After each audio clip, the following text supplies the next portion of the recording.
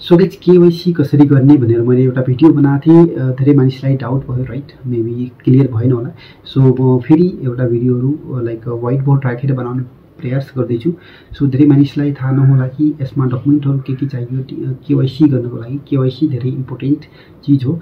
डिसिएममा money transfer गर्दाखेरि KYC important हो। KYC भनेको तपाईँको भेरिफिकेसन हुन्छ। सो यतातिर यो डिसिओ एप्लिकेसन्स जो नेपालीहरूले नै मोस्टली ओपन गरेको हो उनीहरू नेपाल मनी ट्रान्सफर गर्नको लागि। सो यो स्पेसली डिजाइन भएको। सो यसमातिर तपाईँहरूको केवाइसी ओके? डी डी सेवा केवाइसी ओके? सो केवाइसी गर्नको लागि चाहिने डकुमेन्टहरू के के हुन् भन्यो भने सबभन्दा पहिला तपाईँलाई म रिकमेन्ड गर्छु यतातिरको लोकल प्रुफ पनि म्यान्डेटरी नै छ। किन छ? म अहिले भन्छु भिडियोमा। सो यतातिर सबभन्दा पहिला तपाईँलाई यतातिरको local proof Aadhaar card PAN card अनि ब्याङ्क एकाउन्ट ओके? सो यो पनि म्यान्डेटरी नै छ ओके? आधार कार्ड अनि पान कार्ड ब्याङ्क एकाउन्ट पनि म्यान्डेटरी नै हो।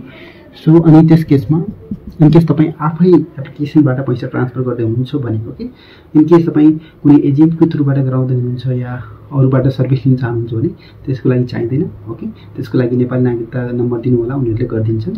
सो तर अहिले त्यो पनि फेसिलिटी छ जस्तै यतातिर एजेन्ट सर्भिस अन छ भने तपाईँले एजेन्टमा गएर तपाईँहरू उनीहरूको एकाउन्टबाट तपाईँहरू पैसा ट्रान्सफर गराउन सक्नुहुन्छ। अलि तपाईँ उनीहरूलाई पनि बेनिफिट हुन्छ त्यो पनि एउटा पोसिबिलिटी अहिले आएको छ यसमा राइट मोस्टली। तर इनकेस तपाईँ आफै एप्लिकेसन्स डाउनलोड गरेर आफै मनी ट्रान्सफर गर्ने प्लानमा हुनुहुन्छ भने तपाईँको केसमा केवाइसी भनेको यताको लोकल प्रुफ हुनुपर्ने म्यान्डेट म्यान्डेटरी नै छ Aadhaar card PAN card bank account okay मैले माथि लेखिदिएको छु। सो किनभने यो अलि त्यति ठुलो स्क्रिन छैन म मोबाइलबाट गरेर छु त्यसैले यसमा त्यति देखिने छैन क्यामेरा मसँग मोबाइल क्यामेरा छैन। सो त्यसैले यतातिर mostly Aadhaar card PAN card अनि ब्याङ्क एकाउन्ट ओके यो म्यान्डेटरी नै छ। सेकेन्ड मैले तपाईँलाई एउटा धेरै चिजमा धेरै मान्छेको डाउट भएको होला। नेपाली नागरिकता पनि इम्पोर्टेन्ट नै छ। धेरैलाई यो लाग्ला कि भाइ ने इन्डियामा छँदा नेपाली नागरिकता किन चाहियो सो यो एप्लिकेसन्समा नेपाली नागरिकता पनि म्यान्डेटरी छ। यतातिर तपाईँको के हुनुपर्ने हुन्छ? नेपाली नागरिकता ओके यतातिर के हुनुपर्ने हुन्छ? नेपाली नागरिकता पनि म्यान्डेटरी नै छ। सो यतातिर तपाईँका डकुमेन्टहरूको कुरा गरौँ भने के के चाहियो अहिले? आधार कार्ड पान कार्ड अनि सो नेपाली नागरिकता। सो अब यतातिर फेरि अलिक कन्फ्युजन हुनसक्छ धेरैलाई। सो यो भनेको डकुमेन्ट चाहियो मैले भने त प्रोसेस के हुनसक्छ?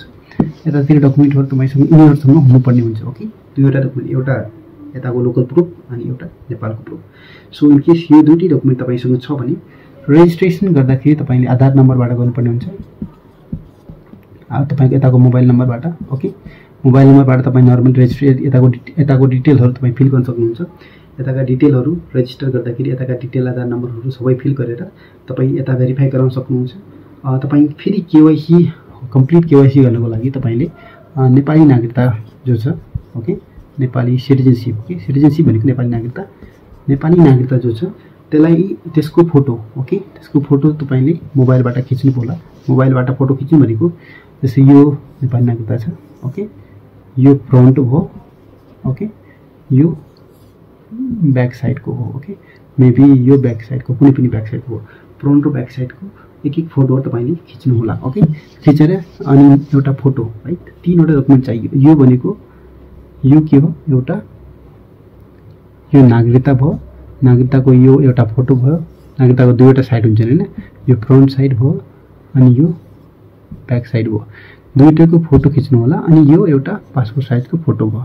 यसको पनि फोटो खिचेर तिनैवटाको फोटो खिचेर तपाईँले डिसिबा कस्टमर केयर जो छ उनीहरूलाई सेयर गर्नु होला। उनीहरूले केवाइसी गरिदिन्छ ओके केवाइसी भनेको उनीहरूले भेरिफाई गर्छ यो भ्यालिड युजर हो भनेर भेरिफाई गर्छ।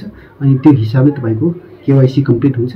त्यो पछि फेरि कन्सेप्ट आउँछ प्रो एकाउन्ट ओपन गर्ने या एजेन्ट बन्ने भनेर। त्यो नेक्स्ट प्रोसेस छ। सो गाइज कुनै डाउट भयो भने कमेन्ट गर्नु होला किनभने धेरै मान्छेलाई फेरि म ओभरभ्यू क्लियरली एकचोटि फेरि बताइदिन्छु।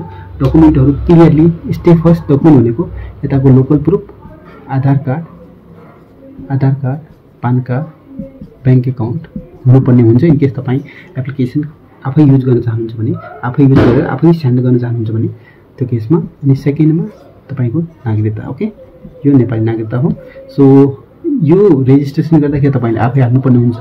Starting Aadhaar number bank number अनि त्यो डिटेलहरू तपाईँले जो पनि तपाईँको डिटेलहरू माग्छ त्यतातिर पान नम्बर त्यो आफै त्यसमा हाल्नुपर्ने हुन्छ। ब्याङ्क नम्बर नभए पनि तपाईँको यो डिटेलहरू जो पनि रिक्वायर्ड डिटेल छन् यताका लोकल डिटेलहरू तपाईँले आफै फिल गर्नुपर्ने हुन्छ रेजिस्ट्रेसन गर्दाखेरि यो नागरिकता भन्यो भने तपाईँले केवाइसी मोबाइल नम्बरमा सेन्ड गर्नुपर्ने हुन्छ यिनीहरूको वाट्सएप नम्बरमा ओके यिनीहरूको वाट्सएप नम्बरमा नागरिकताको अगाडिको फोटो अनि पछाडिको फोटो अनि एउटा पासपोर्ट साइजको फोटोको फोटो खिचेर यिनीहरूलाई एउटा सेयर गर्नु होला वाट्सएपमा यिनीहरूले भेरिफाई गर्छन्। सो त्यो भनेको एउटा प्रोसेस हो।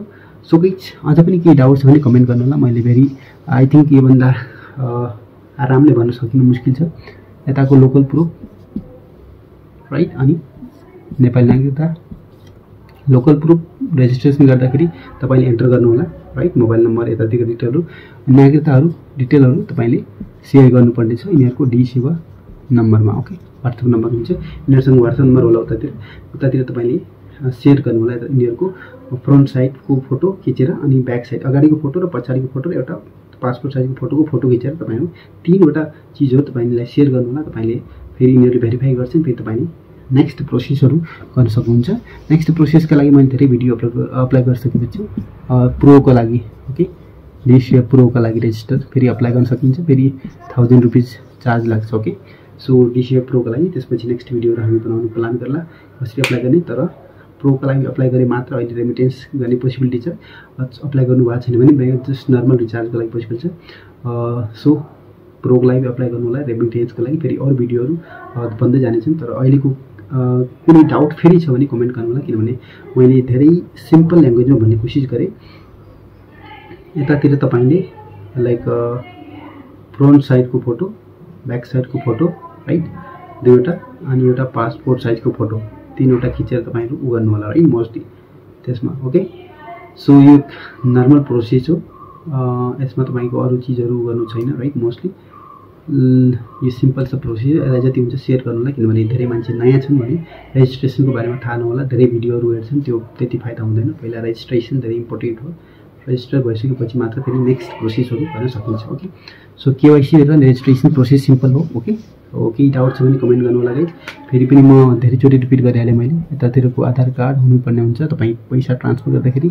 अनि नेपाली नागरिकता पनि हुनुपर्ने हुन्छ। नेपाली नागरिकताको डिटेलहरू तपाईँ डिटेलहरू तपाईँले टी सेवा कस्टमर केयरलाई सेयर गर्नुपर्ने छ। अनि त्यो नै प्रोसेस हो। कमेन्ट गर्नुलाई कुनै डाउट छ